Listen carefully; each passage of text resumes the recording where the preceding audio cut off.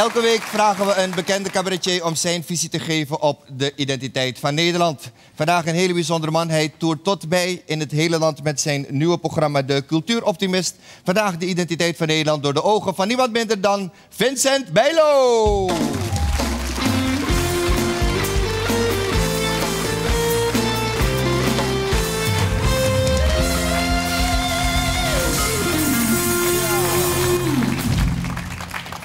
Het is een kaasland, een Bridget Maasland, een speculaasland, een Sinterklaasland, een dropland, een Weespermopland, een Kouwenaar, een Rutger Kopland, een Houwerland, een Francie Bouwerland, een Juffrouw Mier en Soef de Haasland, een Peter Post en een Jan Draasland, een Johan Cruijff en een Ruud Krolland, een John de Molland, een Kim Holland, een Tulpenbolland, een Hondendrolland, een altijd druk maar nog niet vol land, een Zeur- en zeikland, waanzinnig rijk land, een regenland, een altijd tegenland, een patatland, een platland, een altijd watland, een tostiland, een rottiland, een tolerant land, een blowland, een langzaam veranderend land, een in zichzelf kerend land, mijn blowen alleen nog met wietpasland.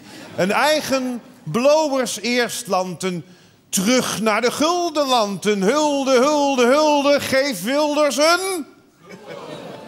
Zullen we dan ook de buizenradio maar weer invoeren?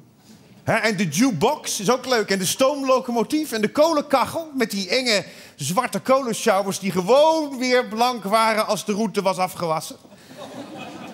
Ach, mijn, mijn, mijn arm kop in het zandland.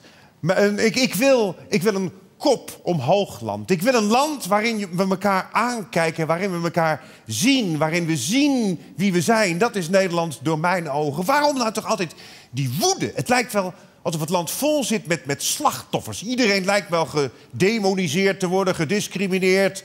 dan zijn ze weer vrouw of blank of zwart of homo of links of rechts of belastingbetaler of jood of joodse belastingbetaler. Dat is een hele kleine groep. nou, ik, ik schreef daar laatst schreef ik daar eens een column over en daar kwam de grap in voor. Waarom hebben Joden zo'n grote neus? Omdat lucht gratis is. nou, echt.